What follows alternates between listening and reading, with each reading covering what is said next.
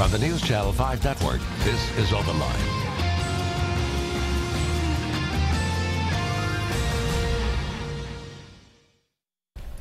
Happy Monday, everyone. Welcome to News Channel 5 Plus, an open line tonight. Great topic tonight that I think we can just dive into and, and have some great questions and, and conversation about the real estate market here in Nashville. It is crazy right now, whether you're a buyer or a seller.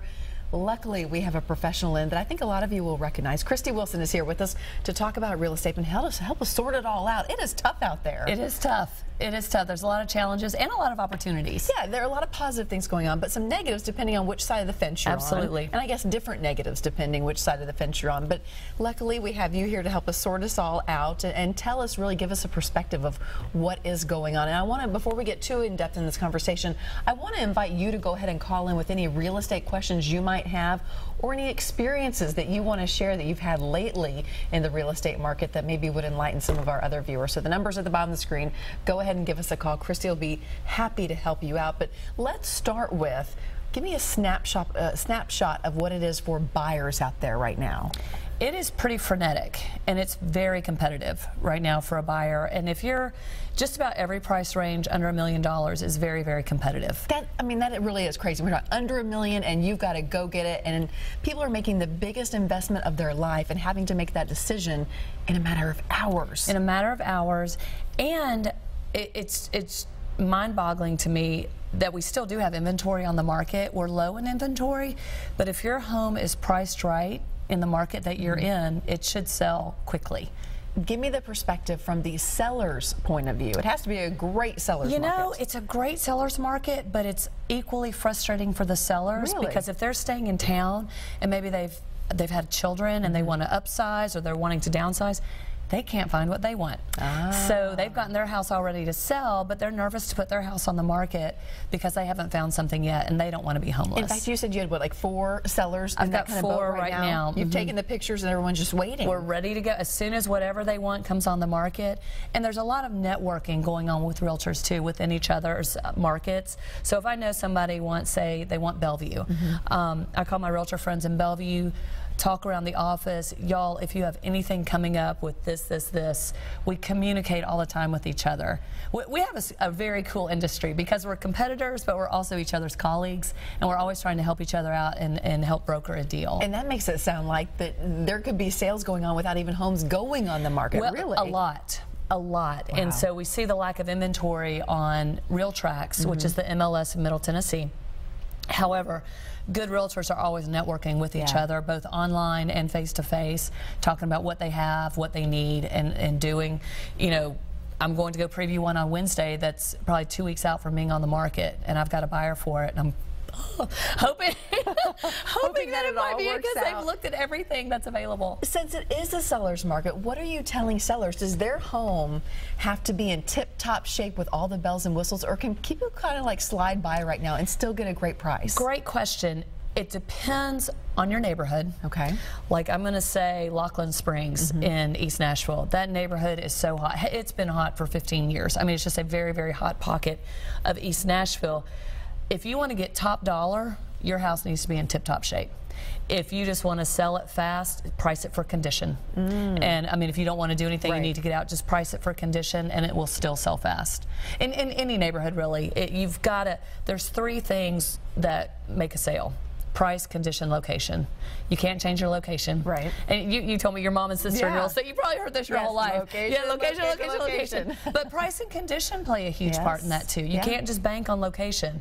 You have to, you can control two things, and that's your price and condition. So if you want a higher price, improve your condition.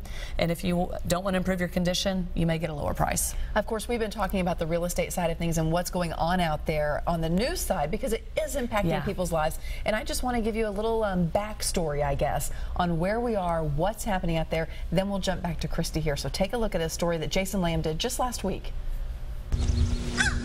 I, I'm just happy to be a realtor in Nashville. More than ever before, the housing market in Nashville is the textbook definition of a seller's market. That someone prices their house competitively and you have five offers, 10 offers. One of my agents just had 19. According to the Greater Nashville Association of Realtors, home sales increased more than 11% in April compared to one year earlier. At the same time, the median sale price in Nashville has crossed over $250,000. All the while, realtors say with such high demand, even at those prices, buyers have next to no time at all to make a decision. Right now, the time frame a buyer has to think about it is, you know, hours. You walk through and you're like, let's do it. And it's hours. And It all leads to the question on everyone's mind is Nashville in a housing bubble? is something going to pop? And I thought this year would be the year we started seeing it stabilize a little bit, but it's still sustaining.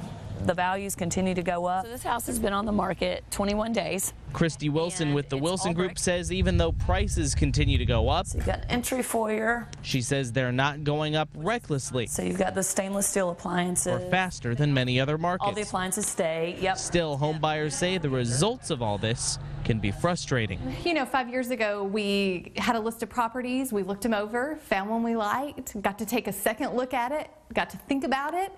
And um, this time it's not like that. And then a large walk-in closet too. So the best advice realtors say, be prepared for whatever could be ahead in this housing market. For stuff. And this is what I thought you'd really like.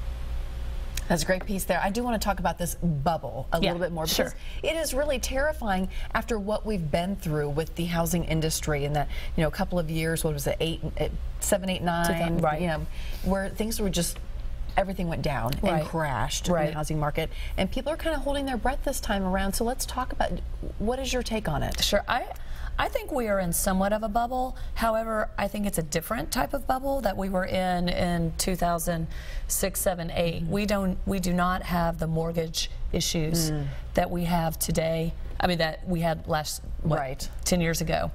Back then they were making those crazy mortgages. Everybody was doing it 100% financing, Yes. 110% financing. Now, most people do have skin in the game in their own home. So, if the market does, I mean, historically, real estate has always done this. Right. We just haven't seen that and that like we had in 2007, 2008, or really 2008 to 2011. Um, so, yeah, I mean, how long can you sustain these prices? I feel like we're at least going to sustain another year. Um, I thought we might be slowing down this year. It hasn't. there No, there not is no stopping. And when I say sustain, I just I just don't think we're going to keep going up. We uh, appreciated 11% last month, and so. Um, Normal historical appreciation is about three to five percent a year.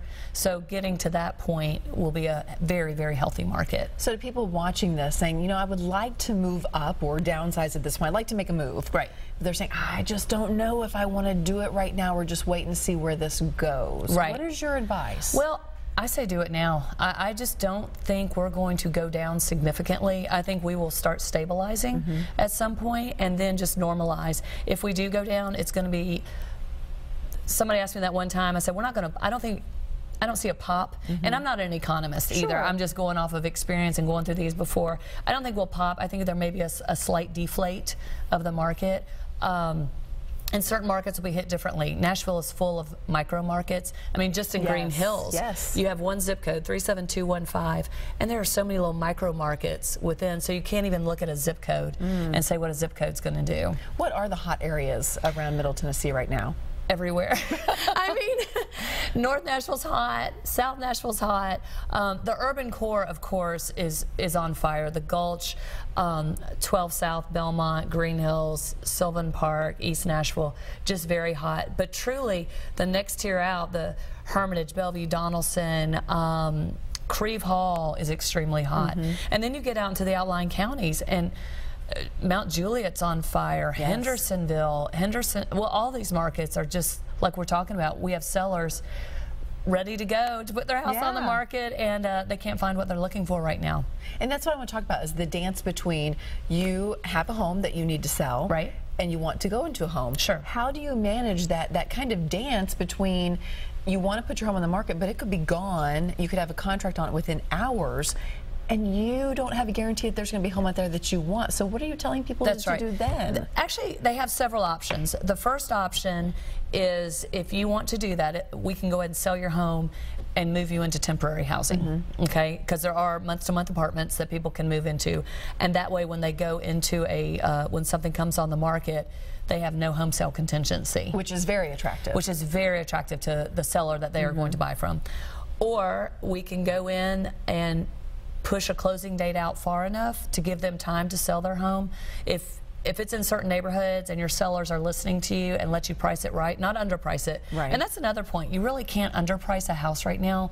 There's enough activity that if you price it right and it sells for more than asking, it wasn't underpricing. It was that the market spoke to what the price should be. okay. Um, but you can sure overprice it. Yeah. If you're seeing a listing languish out there right now, it's typically a pricing issue. Um, but back to our, our seller, so you can push the closing date out far enough where hopefully They have that they have that time. time to sell. Um, or talk to their lender, sit down with them and their lender, and see if they can do alternative financing in between. It's called a bridge loan, Mm-hmm. where they basically take an equity line on their current home to act as the down payment on the new home. Yeah. Okay. So much more to talk about, and I hope that we have your questions and calls too to uh, to get to. So if you're thinking about something at home, go ahead and give us a call. We'll get it lined up during the break. Stay with us. Open line continues next.